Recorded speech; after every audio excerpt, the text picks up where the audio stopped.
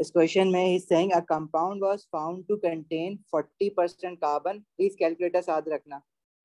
6.67% hydrogen and 53.3% oxygen by mass is relative molecular mass was 60 अब molecular mass दिया हुआ है उसमें मोलिकुलर फॉर्मूला नहीं दिया हुआ मोलिकुलर मास दिया हुआ है। और कह रहा है मोलिकुलर फॉर्मूला आपने निकालना है वर्कआउट करना है। तो कैसे करेंगे? देखो, इसमें भी पहले हम लोग एम्पेरिकल फॉर्मूला ही निकालेंगे, जैसे हमने बाकी क्वेश्चंस में निकाला था। अब इसमें एलिमेंट्स कौन कौन सा है? कार्बन है। कार्बन का सिंबल लिखा। उसकी परसेंटेज दी हुई है, सामने उसकी परसेंटेज लिख दी।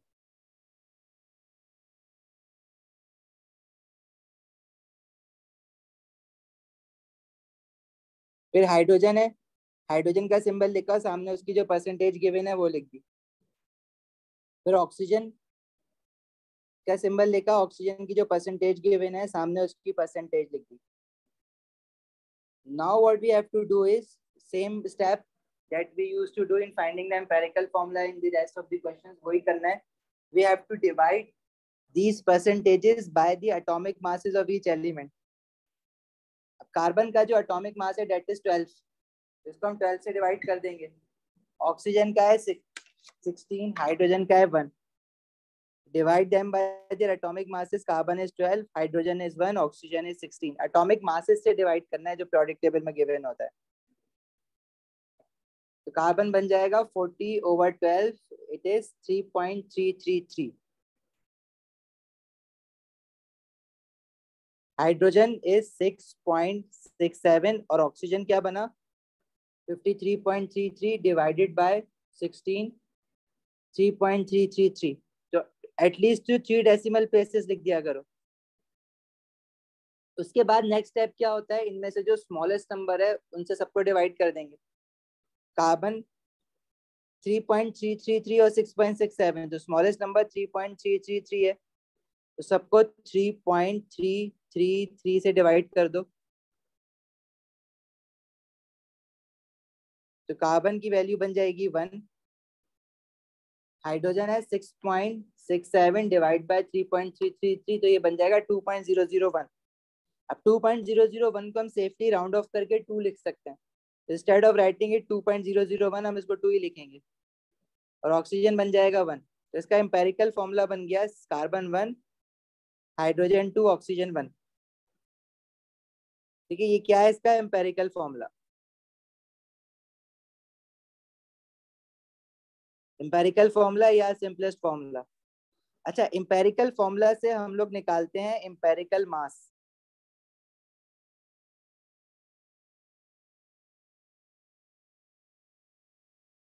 कैसे निकालेंगे एम्पेरिकल फॉर्मूला से एम्पेरिकल मास वैसे ही जैसे मोलिकुलर फॉर्मूला से मोलिकुलर मास निकालते हैं ना। एग्जैक्टली exactly वैसे। जैसे कार्बन का अटोमिक मास होता है twelve there is one carbon in the formula hydrogen का अटोमिक मास होता है one there is two hydrogen oxygen का अटोमिक मास होता है sixteen there is one oxygen तो मल्टीप्लाई बाय वन तो ये हमारे पास आ रहा है थर्टी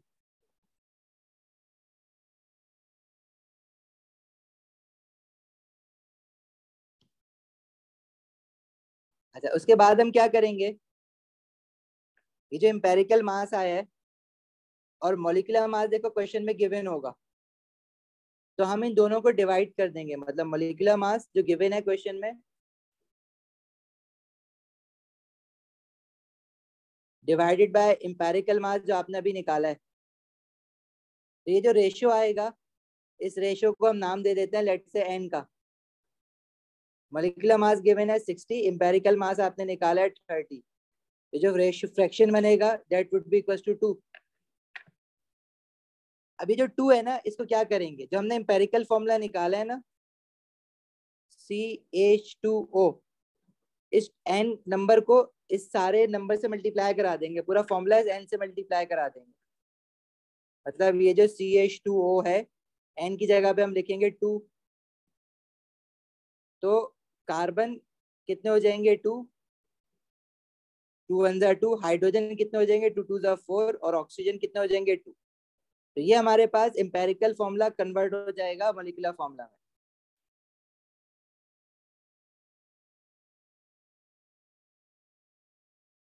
सही है? ये फाइनल आंसर है हमारा। मोलिकुलर फॉर्मूला निकालना था इसका।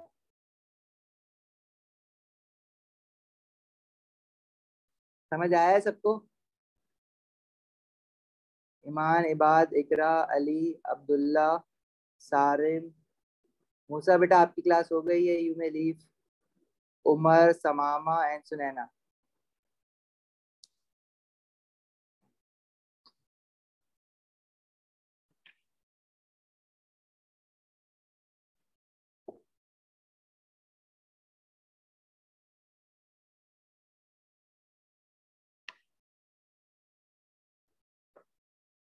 Clear है? आगे बढ़े।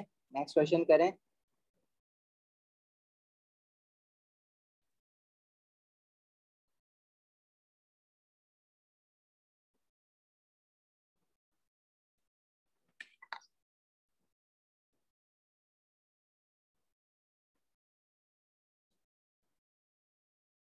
चलो, अब नेक्स्ट क्वेश्चन जो है ना, वो खुद ही करो मेरे साथ।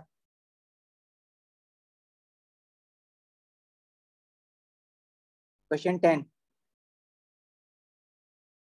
पाँच मिनट लो करके आंसर बताओ क्या आ रहा है।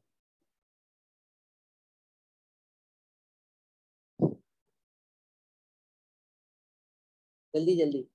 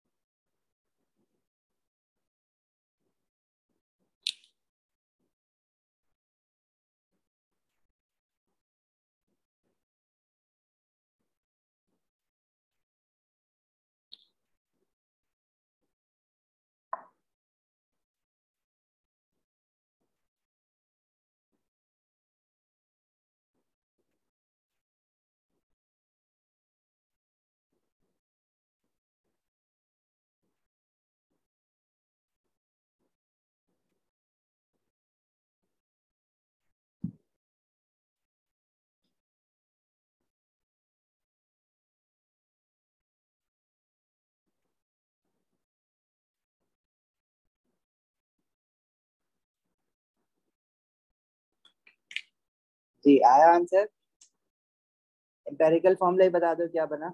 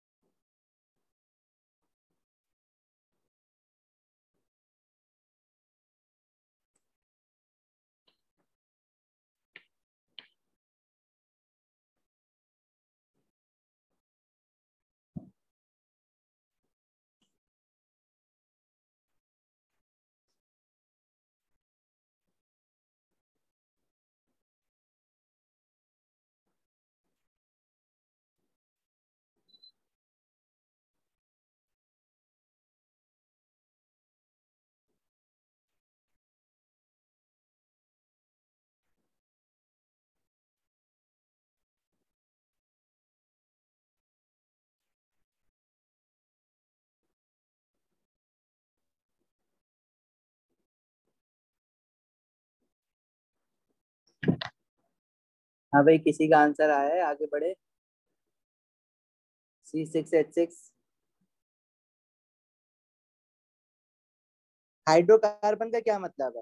तो इसमें दो एलिमेंट्स है कार्बन और हाइड्रोजन कार्बन की परसेंटेज दी हुई है ninety two point three one hydrogen is seven point six nine पहले तो एम्पेरिकल फॉर्मूला निकालने के लिए इनके एटॉमिक मासेस से डिवाइड करेंगे ना।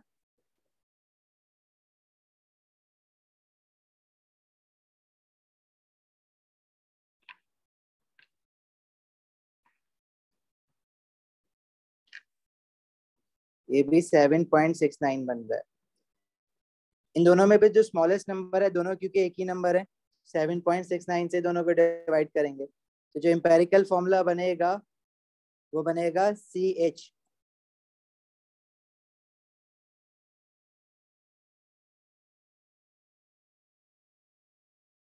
एम्पेरिकल फॉर्मूला से हम निकालेंगे empirical mass 12 into 1 hydrogen is 1 into 1 so this would be equals to 13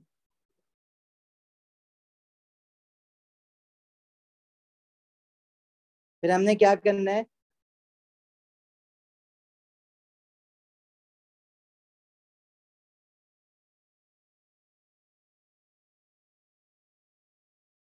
Molecular mass divide by empirical mass molecular mass 78 है, और एम्पेरिकल मास आया 30 78 डिवाइड बाय 13 इज़ 6 एन आ रहा है 6 फिर हम एम्पेरिकल फॉर्मूला जो कि सी एच आए उसको सिक्स से मल्टीप्लाई कर देंगे। कार्बन भी सिक्स हो जाएगा और हाइड्रोजन भी सिक्स हो जाएगा। सबका आ रहा है यही आंसर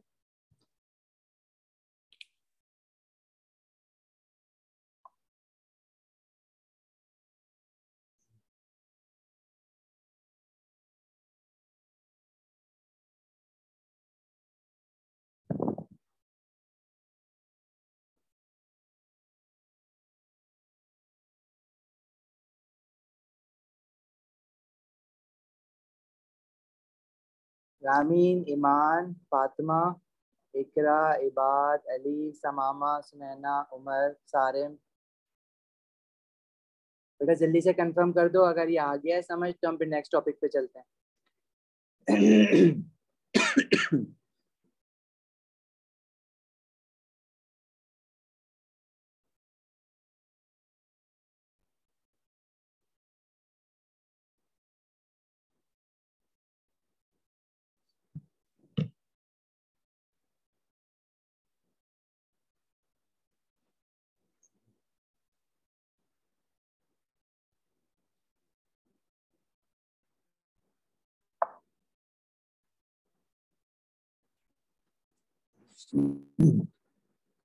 चलो, आगे बढ़ते हैं। अच्छा जो नेक्स्ट हमारा मोल्स में टॉपिक है डेट इज़ कंसेंट्रेशन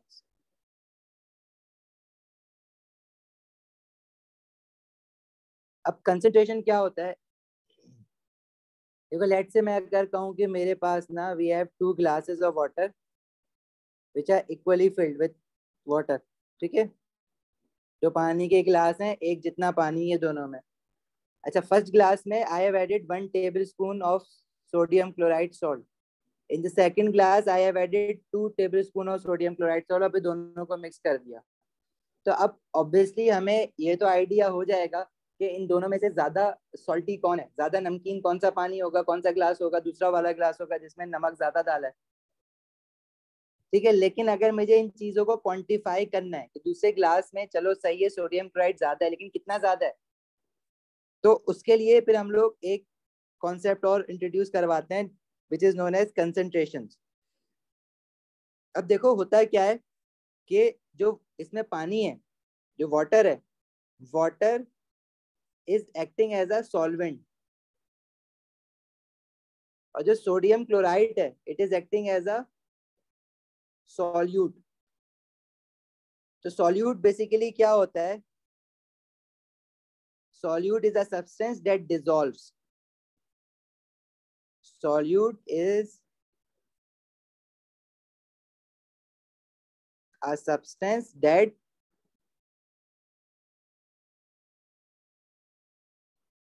dissolve और सॉल्वेंट क्या होता है? It is a solvent is a substance that does the dissolving.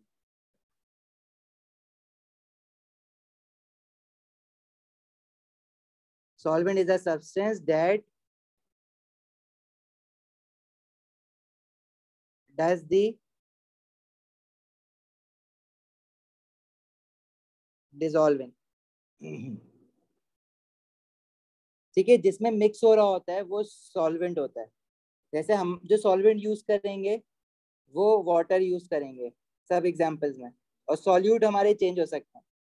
अब सॉल्यूट ज़रूरी नहीं है कि हमेशा सॉलिड हो मतलब पानी के अंदर आप कोई सॉलिड जैसे कि सॉल्ट है, उसको भी मिक्स कर सकते हो। इसी तरह आप वाटर के अंदर कोई लिक्विड भी मिक्स कर सकते हो, जैसे पानी के अंदर रू अफ़ज़ा मिला दो तो Rooh Afza would be a solute या पानी के अंदर किसी गैस को मिक्स कर दो अमोनिया गैस को मिक्स कर दो। तो वो भी अमोनिया गैस सॉल्यूट हो जाएगा।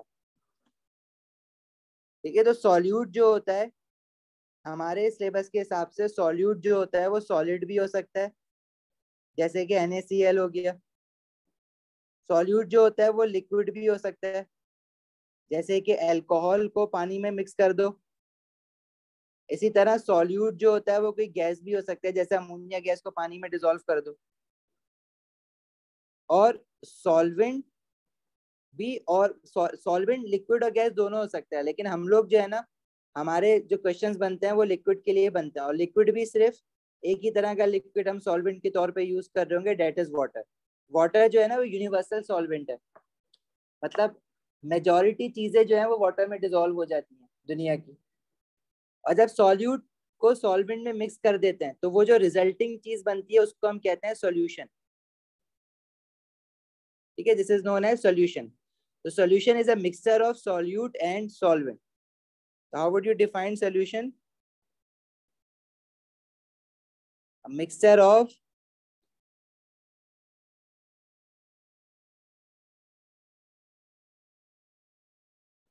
solute and solvent. और जो सॉल्यूशन बनता है वो दो तरह का हो सकता है। वो हो सकता है डाइल्यूट या फिर कंसेंट्रेटेड अब डाइल्यूट सोल्यूशन वो होता है जिसमें सॉल्यूट कम हो सॉल्वेंट ज़्यादा हो। और कंसेंट्रेटेड वो होता है कि जिसमें सॉल्यूट बहुत ज़्यादा हो। सॉल्वेंट तो कम नहीं होता सॉल्यूट से। जैसे फॉर एग्ज़ाम्पल हमने जो अभी दो सॉल्ट के ग्लास बनाए थे जिसमें एक चम्मच नमक डाला है तो comparatively that would be called as a dilute solution जिसमें हमने दो चम्मच नमक डाला है that would be called as a concentrated solution अगर दोनों को आपस में एक दूसरे के साथ कंपेयर करवाएँगे।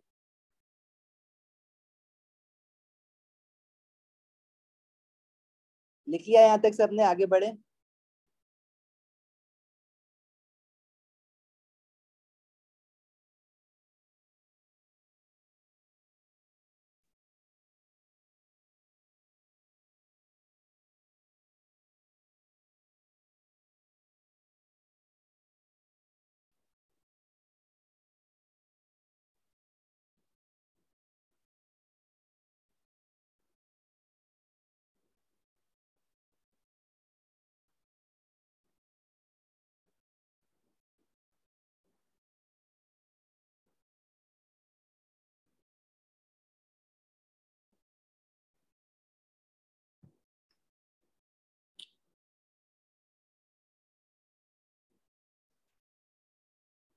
हाँ भाई, आगे बढ़े।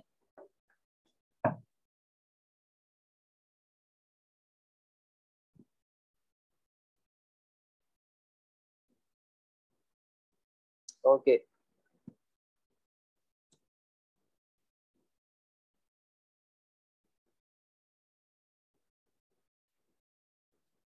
मामा सुनैना सारिम अली। बेटा, जवाब क्यों नहीं दे रहे हो आज?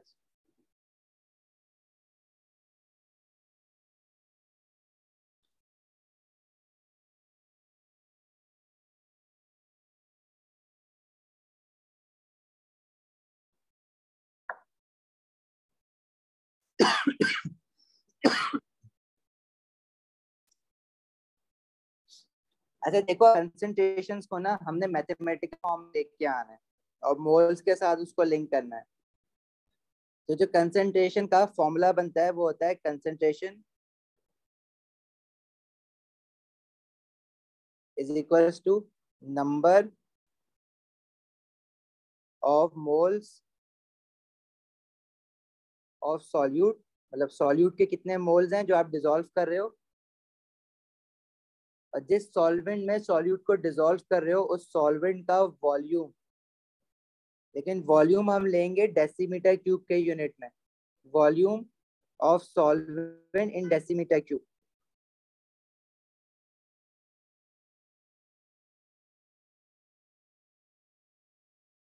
ठीक है? शॉर्ट फॉर्म इस फॉर्मूले की क्या होगी? कंसंट्रेशन की जगह हम लिखेंगे सी नंबर ऑफ़ मोल्स की जगह हम लिखेंगे एन और वॉल्यूम की जगह हम लिख देते हैं वी यूनिट क्या बनेगा? कंसंट्रेशन का न्यूमरेटर में है मोल और डिनोमिनेटर में है डेसीमीटर क्यूब तो यूनिट बन गया मोल पर डेसीमीटर क्यूब इसको ऐसे भी लिख सकते हो और इसको इस तरह से भी लिख सकते हो मोल और डेसीमीटर क्यूब में जो थ्री है वो न्यूमरेटर में लाओगे तो माइनस थ्री हो जाएगा। क्वेश्चन देख लेते हैं इसके किस तरह से बनेंगे। अगर मैं कहूँ find out the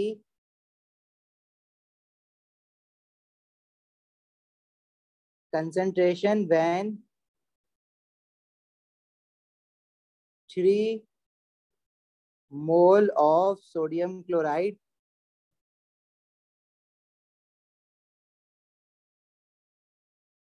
is dissolved in 5 decimeter cube of water. आपने फॉर्मूला लगाना है। Concentration is equal to number of moles over volume solute जो है वो सोडियम क्लोराइड है। उसके मोल्स गिवन है आपको। सॉल्वेंट जो है वो वाटर है, उसका वॉल्यूम गिवन है आपको डेसीमीटर क्यूब में।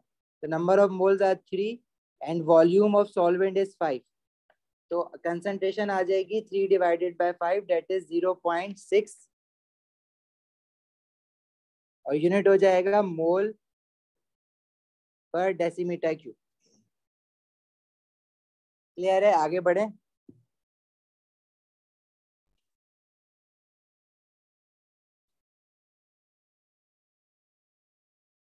कोई प्रॉब्लम है किसी को तो पूछ लो।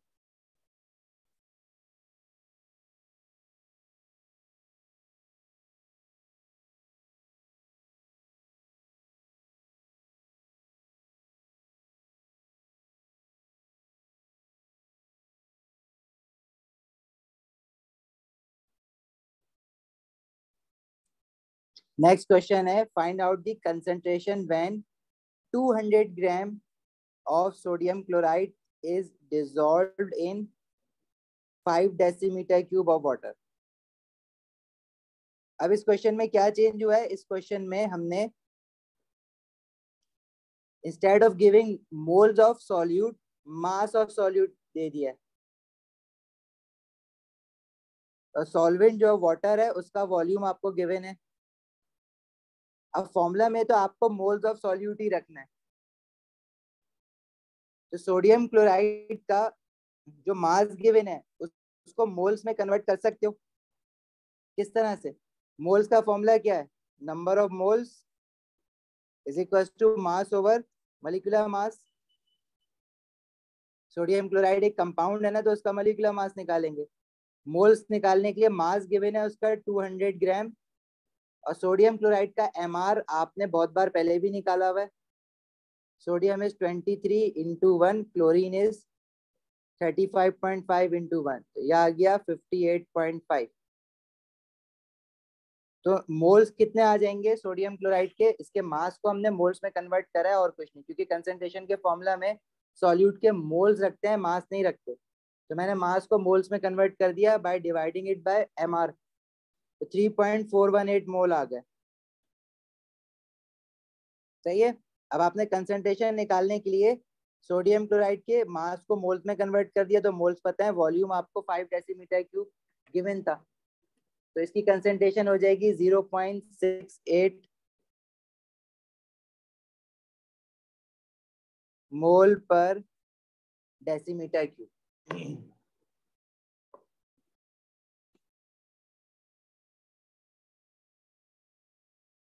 अभी क्लियर है?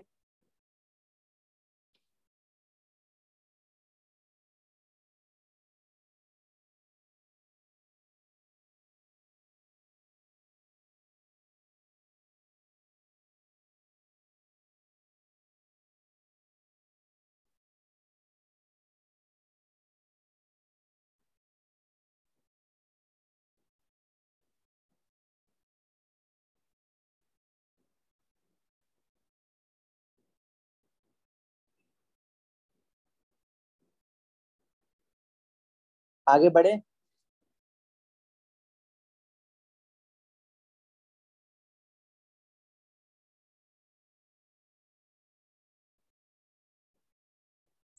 Okay okay.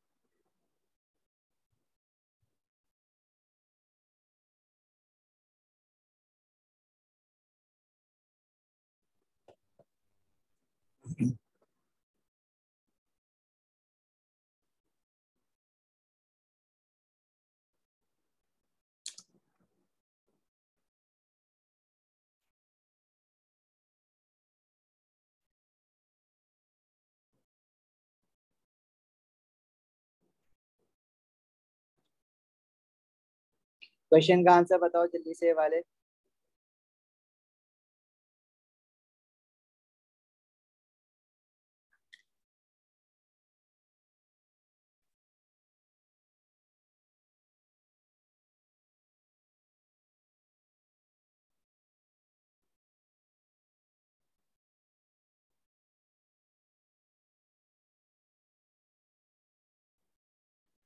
Find out the moles of 1000 centimeter cube of 0.5 mole per decimeter cube of copper to sulfate solution.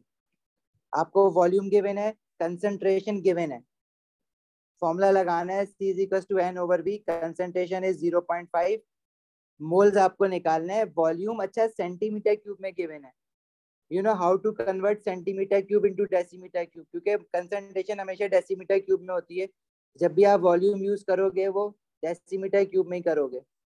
तो one decimetre cube is equal to thousand centimetre cube तो थाउज़ेंड सेंटीमीटर क्यूब को decimetre cube में कैसे convert करोगे? Divide by thousand तो वो कितना बन गया? वन डेसीमीटर क्यूब वॉल्यूम है वन डेसीमीटर क्यूब तो मोल्स कितना आ जाएँगे? Zero point five into one that is zero point five mole ये बड़ा सिंपल सा क्वेश्चन था। आगे बढ़ते हैं।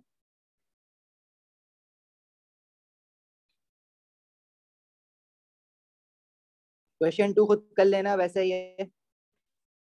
क्वेश्चन थ्री में कह रहा है find out the concentration of 250 centimetre cube of ammonium chloride containing 0.1 moles concentration is number of moles over volume moles हैं 0.1 मोल और वॉल्यूम देखो 250 सेंटीमीटर क्यूब दिया हुआ है तो डेसीमीटर क्यूब में कन्वर्ट करने के लिए उसको डिवाइड बाय थाउज़ेंड कर दोगे तो ये बन जाएगा 0.25 डेसीमीटर क्यूब वॉल्यूम की जगह हम रखेंगे 0.25 तो 0.1 डिवाइडेड बाय 0.25 ये हो जाएगा 0.4 कंसंट्रेशन है तो उसका यूनिट मोल पर डेसीमीटर क्यूब।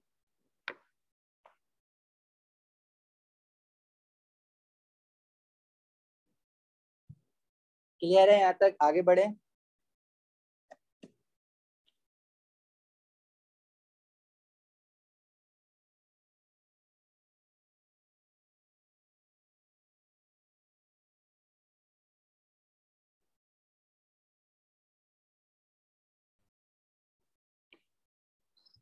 अच्छा। ये खुद कर लेना। सेम क्वेश्चन चलो, इसका आंसर जरा निकाल के बता दो मुझे। This is 2.015 gram of sodium hydroxide और 0.002 mole per decimetre cube concentration है। वॉल्यूम आपको निकालना है। जल्दी से आंसर बताना लेकिन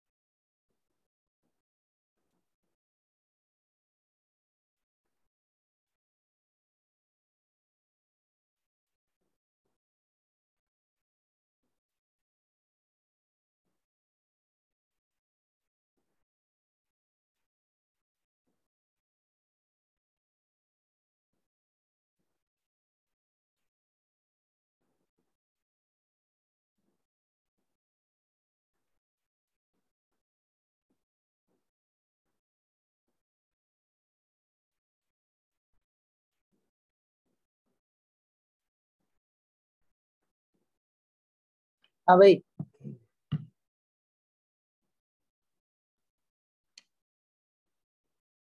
ट्वेंटी फाइव डेसीमीटर क्यूब आ रहा है सबका।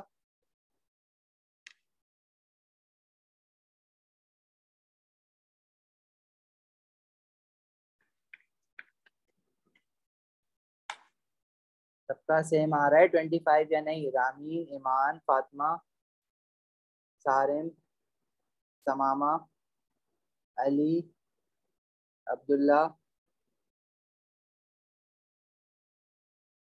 तेरा जवाब क्यों नहीं दे रहे हो तुम लोग? लिए।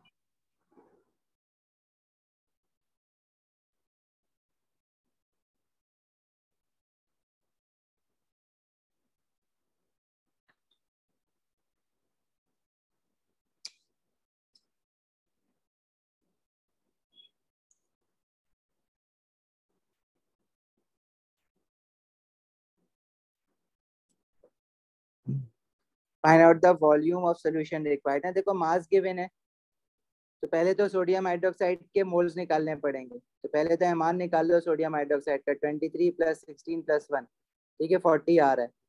मोल्स निकालो इसके mass over M R mass given है two point zero one five divided by M R is forty ठीक है तो ये मोल्स इसके आ रहे हैं zero point zero five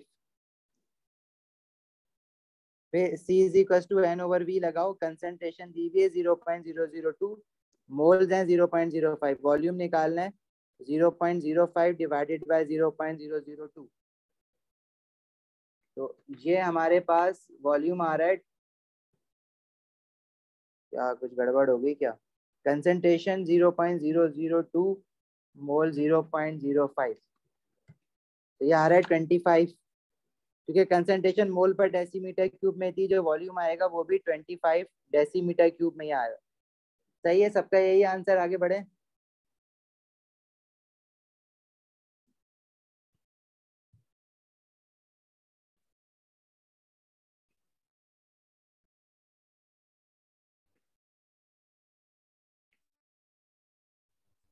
अच्छा क्वेश्चन एट और कर दो, फिर कंसेंट्रेशन से आगे बढ़ते हैं।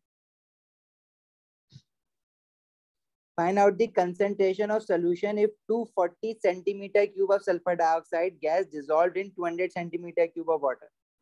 देखो, हमारी बात हुई थी ना कि सोल्यूट ज़रूरी नहीं है कि सॉलिड ही हो। सोल्यूट सॉलिड भी हो सकता है, जैसे कि NaCl और सोडियम हाइड्रोक्साइड सोल्यूट लिक्विड भी हो सकता है, जैसे कि अल्कोहल या रू अफजा सोल्यूट गैस भी हो सकता है, जैसे कि अमोनिया या सल्फ़र डाइऑक्साइड ये जो सल्फ़र डाइऑक्साइड है ना, देखो वाटर तो सॉल्वेंट होता है।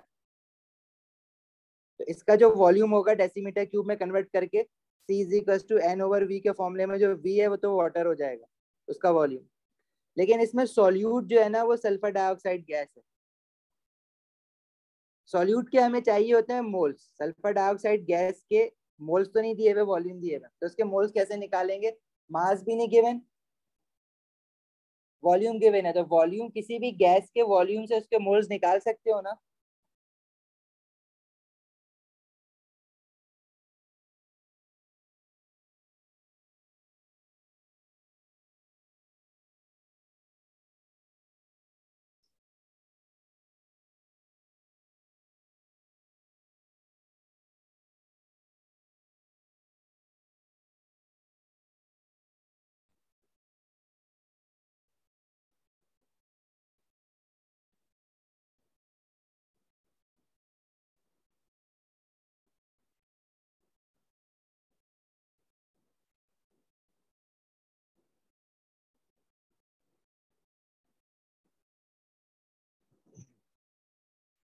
भाई गैस के वॉल्यूम से उसके मोल्स निकाल सकते हो या नहीं? हमें पता है कि one mole of any gas चाहे one mole of sulphur dioxide है या वन मोल ऑफ़ अमोनिया है it has a volume of 24 decimetre cube अब सेंटीमीटर क्यूब में बात चल रही है तो 24 decimetre cube is equal to 24000 centimetre cube तो 240 centimetre cube of sulphur dioxide gas जो है, उसमें मोल्स कितने होंगे? तो क्रॉस मल्टीप्लाई करो one into 240 x into 24,000.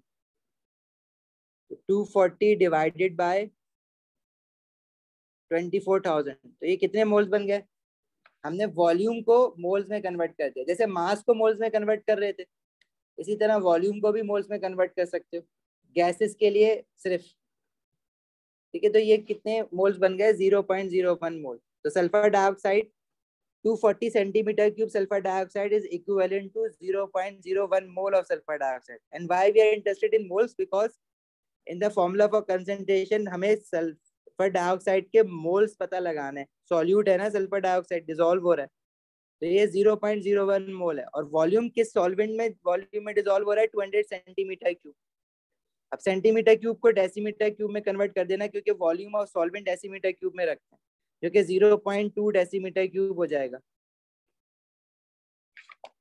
सही है? तो कंसेंट्रेशन कितनी आ जाएगी? सल्फ़र डाइऑक्साइड की इस पानी के अंदर। It is equal to zero point zero five mole per decimetre cube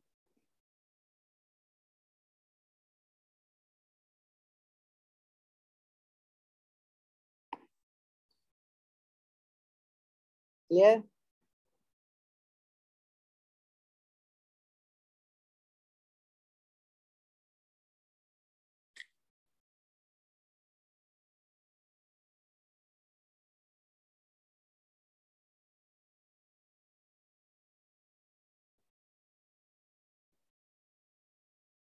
किसी को कोई प्रॉब्लम है इसमें या आगे बढ़े।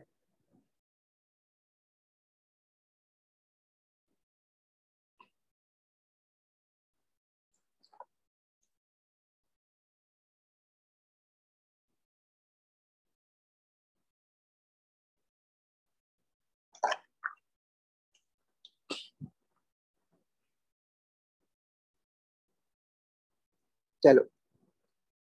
अच्छा इस वर्कशीट में बाकी जो क्वेश्चन है कंसंट्रेशन के वो आपका होमवर्क हो गया।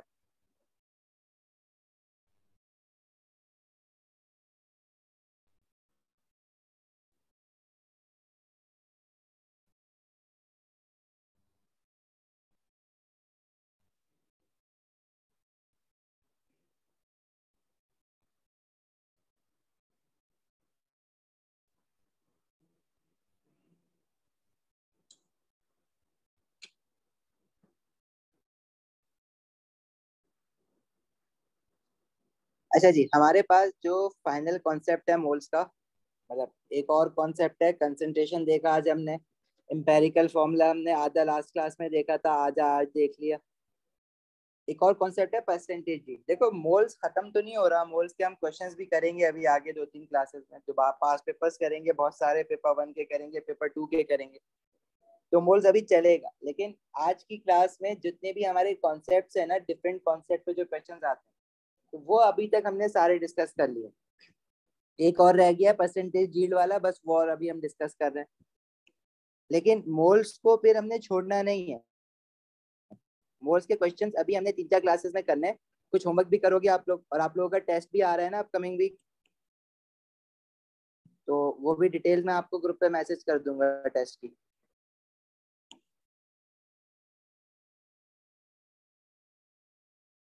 अच्छा जी। अब परसेंटेज यील्ड बेसिकली क्या होती है? देखो, जब भी हम कोई केमिकल रिएक्शन करते हैं ना तो ड्यूरिंग केमिकल रिएक्शन होता क्या है कि जैसे फॉर एग्जांपल अगर आप कोई खाना भी बना रहे हो, कोई डिश बना रहे हो तो जितना इंग्रेडिएंट आपने मेजर किया है कि टोटल प्रोडक्ट मुझे जो है टोटल डिश जो बनानी है, वो इतनी बनानी है। तो अक्सर जो है, वो चीज़ें आगे पीछे हो जाती हैं। इसी तरह केमिकल रिएक्शन में जितना आपने मेजर किया होता है ना कि इस रिएक्टेंट से अगर मैंने इतना रिएक्टेंट लिया है तो उससे इतना प्रोडक्ट बनेगा। ये तो आपने ऑन पेपर कैलकुलेट किया है ना। लेकिन जब आप असल में लैब में खड़े होते हो ना ये बनाने के लिए तो कुछ रिएक्टेंट आपका लूज हो जाता है, कुछ गिर जाता है, और भी एक्सपाइजी रीजन की वजह से जो आपने कैलकुलेट किया था ना प्रोडक्ट की जितना बनना चाहिए, उतना कभी भी नहीं बनता। लेट से आपने कैलकुलेट किया ये जो प्रोडक्ट है जितना भी आपके पास रिएक्टेंट है, उससे प्रोडक्ट जो है वो फिफ्टी ग्राम बनेगा। लेकिन एक्चुअल में कभी भी इतना प्रोडक्ट नहीं बनता जितना आपने कैलकुलेट किया हुआ होता है। और एक्चुअल में जो बना वो फोर्टी ग्राम बना बस। बाकी का दस ग्राम आपके लॉसेस हैं। वो लॉसेस के रीजन बहुत सारे हो सकते हैं, उन रीजन पे हम नहीं जा रहे। लेकिन हमेशा याद रखना हंड्रेड परसेंट जो है वो प्रोडक्ट जो आपने कैलकुलेट किया है, वो जब आप बनाने जाते हो तो उतना नहीं बनता। तो फिर हम ना एक चेक करने के लिए ये निकालते हैं कि कितना परसेंटेज सक्सेस हुई है। उसको हम कहते हैं परसेंटेज यील्ड परसेंटेज यील्ड का फॉर्मूला ये होता है कि एक्चुअल में जब हमने बनाया एक्चुअल में मतलब जब हमने वाकई में प्रैक्टिकल करके बनाया एक्चुअल या प्रैक्टिकल तो वो कितना बना और जब हमने मेजर किया था मतलब कैलकुलेट किया था पेपर के ऊपर रिएक्शन को देख के तो हम कितना एक्सपेक्ट कर रहे थे, वो थ्योरिटिकल होता है। Actual over theoretical into hundred percent तो that gives you percentage yield अब आपने 40 ग्राम बनाया असल में, लेकिन बनना कितना चाहिए था? 50 ग्राम तो आपकी परसेंटेज यील्ड आप ऐसे निकालोगे, और परसेंटेज यील्ड हमेशा ऑब्वियसली 100 परसेंट से कम होती है। अगर कोई आइडियल केस में, कोई बंदा कहे कि जितना मैंने कैलकुलेट किया था, उतना का उतना हमने बना लिया तो इट मीन्स कि उसकी जो थ्योरेटिकल वैल्यू है, अगर वो 50 ग्राम उसने कैलकुलेट किया था और बना भी 50 ग्राम लिया है तो परसेंटेज जो है वो 100 परसेंट हो जाएगी। इससे ऊपर तो नहीं जा सकती ना। 50 ग्राम कैलकुलेट किया था 60 ग्राम नहीं बना सकते। उतना बना सकते हो इससे कम बना सकते हो। लेकिन 99 परसेंट केसेस में हमेशा वो कम ही बन रहा होता है। कभी 50 का 50 बनता नहीं है। इसलिए हम लोग ना परसेंटेज यील्ड निकालते हैं। क्यों निकालते हैं परसेंटेज यील्ड देखो, अब अगर कोई कंपनी है फर्टिलाइज़र बना रही है, अब उसने रॉ मटेरियल परचेज करे। ठीक है? और वो, चलो फर्टिलाइज़र तो मुश्किल हो गया लेट से कोई कंपनी है बिस्किट बना रही है। अब बिस्किट्स बनाने के लिए उसने कुछ रॉ मटेरियल परचेज करे फ्लावर परचेज करा शुगर परचेज करी, ठीक है? और फिर जो फ्लावर और शुगर की क्वांटिटी थी, उन्होंने ऑब्वियसली रेसिपी देखी कि भाई इतना बिस्किट बनाने के लिए लेट से उन्होंने कहा कि हमें फाइव थाउज़ेंड पैकेट बनाने हैं बिस्किट के। तो उन्होंने उसके हिसाब से जो है फाइव थाउज़ेंड पैकेट बनाने के हिसाब से इंग्रेडिएंट्स परचेज कर लिए कि इतना फ्लावर चाहिए, इतना शुगर चाहिए, जो भी चीज़ें डलती हैं। अब जब वो एक्चुअल में बनाने गए, खड़े हुए बनाने तो फाइव थाउज़ेंड पैकेट्स के बजाय जो असल में बने, अब देखो लेबर से कुछ मिस्टेक्स हो गई, कुछ फ्लावर गिर गया, कुछ चीनी गिर गई, इस तरह के मिसहैप्स हुए, और जो पैकेट्स बन सके, वो बन सके सिर्फ़ फोर थाउज़ेंड अब फाइव थाउज़ेंड बनाने थे, आपने जो रॉ मटेरियल लिया था, वो तो फाइव थाउज़ेंड के पैसे खर्च करके लिया था ना। और आप बना कितने सके? फाइव थाउज़ेंड में से सिर्फ़ फोर थाउज़ेंड तो आपकी जो परसेंटेज यील्ड है, वो कितनी हुई? Four thousand divide by five thousand into hundred eighty percent मतलब ट्वेंटी परसेंट जो लॉसेज आपका जो प्रोडक्ट है, वो बिकने से पहले ही लॉस हो गया। आपने, क्या कहते हैं ड्यूरिंग प्रोडक्शन ही लॉस कर दिया अपना। तो कंपनीज़ परसेंटेज यील्ड अब कोई केमिकल रिएक्शन हो रहा है ना, अब जैसे फर्टिलाइज़र बनाना है केमिकल रिएक्शन है तो कंपनीज़ जो है ना, वो एक परसेंटेज यील्ड कैलकुलेट करके देखती हैं हर रिएक्शन के बाद अपना, कि हमें कितना बनना चाहिए था और कितना बना, ताकि उस चीज़ को फिर इम्प्रूव कैसे किया जा सकता है परसेंटेज बढ़ाई कैसे जा सकती है। समझ आई बात? तो इसीलिए हम लोग परसेंटेज यील्ड का फिनोमिना पढ़ते हैं, और ये भी मोल्स और केमिकल इक्वेशन और स्टोशियोमेट्री से लिंक अप हो जाएगा।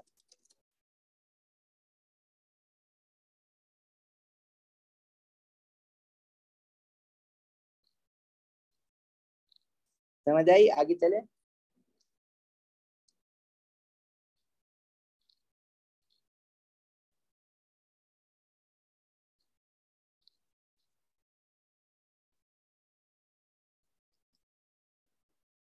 अच्छा अब देखो क्वेश्चन देखते हैं इसका ना?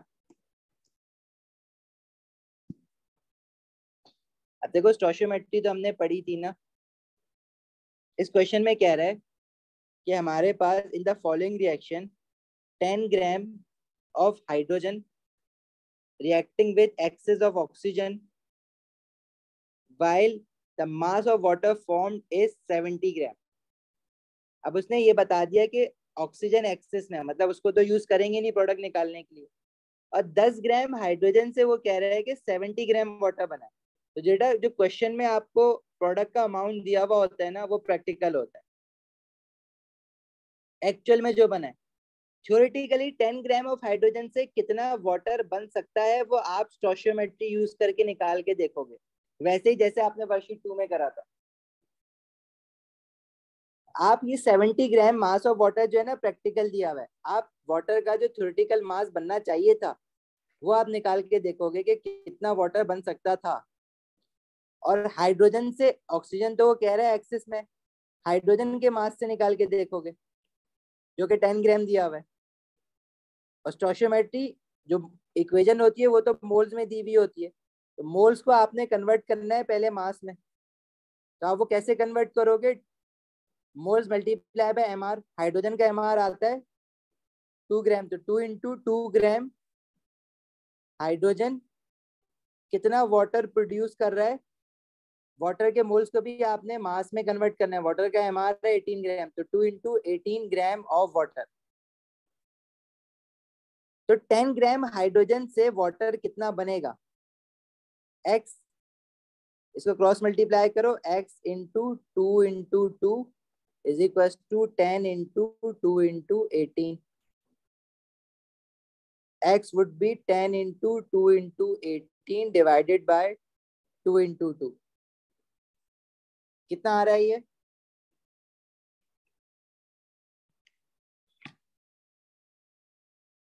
Ninety gram. अब ये जो नाइन्टी ग्राम आपने स्टोशियोमेट्री से निकाला है तो स्टोशियोमेट्री से तो आप कैलकुलेट करके निकाल रहे हो ना। एक्चुअल में तो नहीं कर रहे हो तो ये थ्योरेटिकल होगा। वरना उसने जब प्रैक्टिकल किया है तो टेन ग्राम वाटर हाइड्रोजन से वो कह रहा है सेवेंटी ग्राम वाटर बना है। लेकिन आप कह रहे हो कि बनना चाहिए था नाइन्टी ग्राम। क्योंकि वो थ्योरेटिकल है, लेकिन जब आप एक्चुअल में एक्सपेरिमेंट करने जाते हो तो आपसे लॉसेस होते हैं। तो परसेंटेज जील्ड आप फिर कैसे निकालोगे? जो एक्चुअल वैल्यू उसने क्वेश्चन में दी है, जो कि वाकई में बनी है थ्योरेटिकल वैल्यू जो कि आपने वाटर की स्टोशियोमेट्री से निकाली है into hundred percent actual is seventy gram और जो थ्योरेटिकली बनना चाहिए था that is ninety gram into hundred percent ये कितना आ जाएगा? Seventy over ninety into hundred. This is seventy seven point seven seven percent मतलब seventy seven percent percentage yield है। बाकी लॉसेज हैं साथ। समझ आई बात?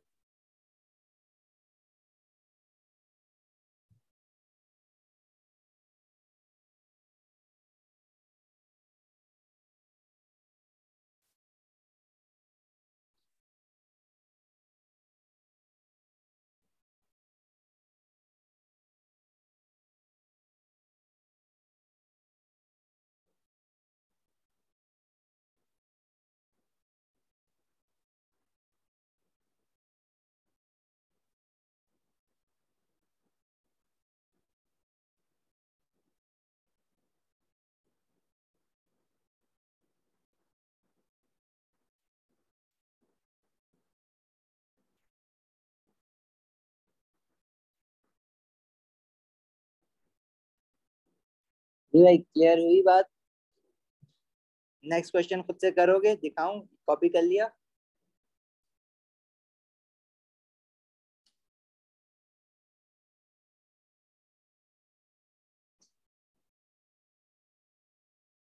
इंतज़ार दस बजे स्टार्ट होगी आपकी class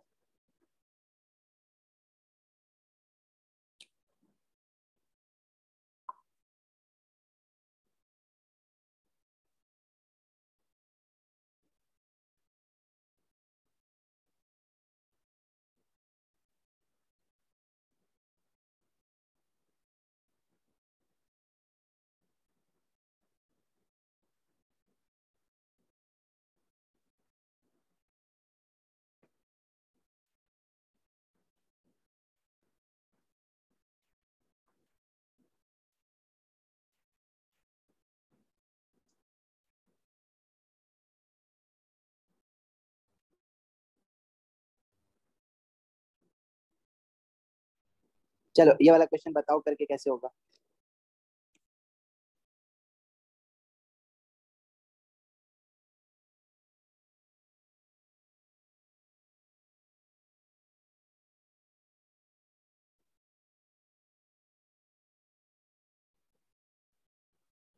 This is ammonia NH3.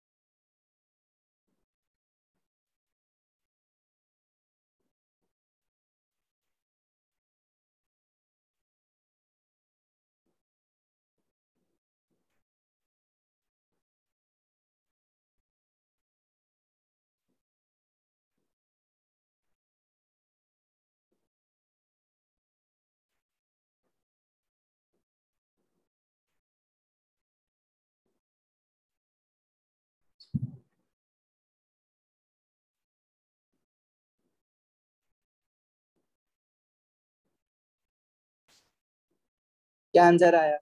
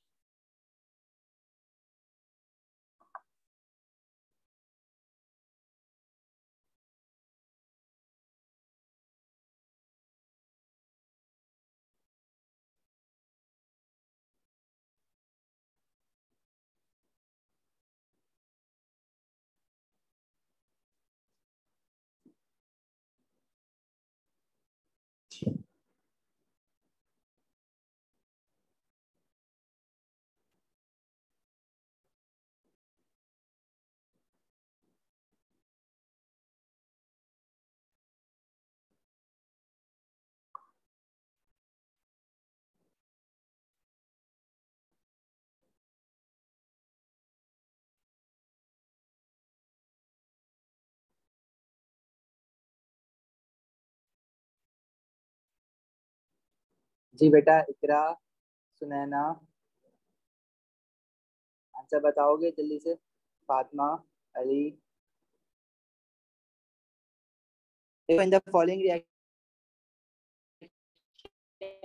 15 decimeter cube of hydrogen reacted with excess of nitrogen. तो नाइट्रोजन तो एक्सेस में 15 decimetre cube of hydrogen hydrogen का जो है आपको वॉल्यूम गिवन है। और अमोनिया का जो है वो मास गिवन है। लेकिन जो क्वेश्चन में मास गिवन है ना, वो एक्चुअल मास है यानी प्रैक्टिकल मास है, जो एक्सपेरिमेंट करने के बाद निकाला गया है। आपको तो थ्योरेटिकल मास अमोनिया का निकालना है। ठीक है? मोल्स आप नीचे उतारोगे हाइड्रोजन के थ्री मोल्स अमोनिया के टू मोल्स हाइड्रोजन के मोल्स को वॉल्यूम में कन्वर्ट करना है। तो मोल्स को वॉल्यूम में गैस के कैसे कन्वर्ट करते हैं? Multiply by twenty four three into twenty four decimetre cube hydrogen से अमोनिया के मोल्स को मास में कन्वर्ट करना है। तो टू इंटू मोल्स को मास में कैसे कन्वर्ट करते हैं? Multiply by M R ammonia का एम आर आता है seventeen gram two into three into twenty four decimetre cube hydrogen से two into seventeen gram ammonia produce होती है। तो फिफ्टीन डेसीमीटर क्यूब हाइड्रोजन से कितनी अमोनिया का मास प्रोड्यूस होना चाहिए?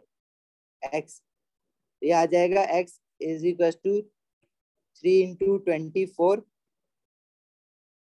fifteen into two into seventeen तो this is fifteen into two into seventeen divided by three into twenty four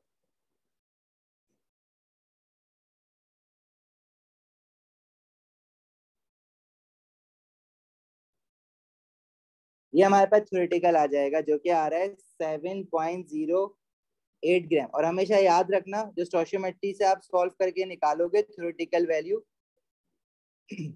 वो हमेशा बड़ी आएगी जो क्वेश्चन में प्रैक्टिकल वैल्यू गिवन होगी। वरना परसेंटेज तो निकल ही नहीं सकती ना। तो प्रैक्टिकल वैल्यू जो क्वेश्चन में गिवन है, छोटी वाली डिवाइडेड बाय थ्योरेटिकल वैल्यू जो आपने निकाली है स्टोशियोमेट्री से परसेंटेज निकालने के लिए। मतलब 5.5 divided by 7.08 into hundred percent.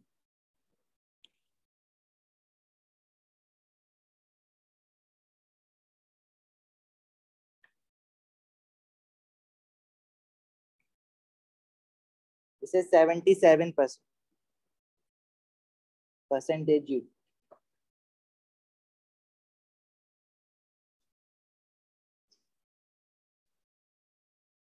आगे बात समझ?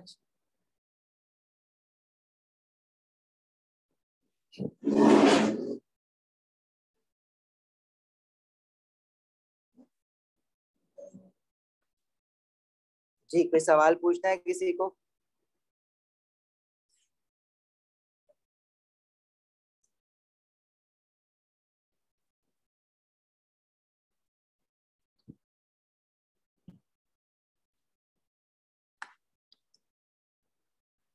चलो ठीक है, अगर कुछ नहीं पूछना तो आप लोग जा सकते हो अब। ये वर्कशीट मैंने आपको सेंड की हुई है, मैं दोबारा सेंड कर देता हूँ। अब इस वर्कशीट को आप पूरी कर सकते हो मोल्स की। सब पढ़ लिया इसमें। फिर अब नेक्स्ट क्लास से ना हम इसके बहुत सारे पास पेपर्स करेंगे मोल्स के। तो मेक श्योर के बिफोर नेक्स्ट क्लास ये सारी चीज़ें रिवाइज करके रखो। ओके अल्लाह हाफिज़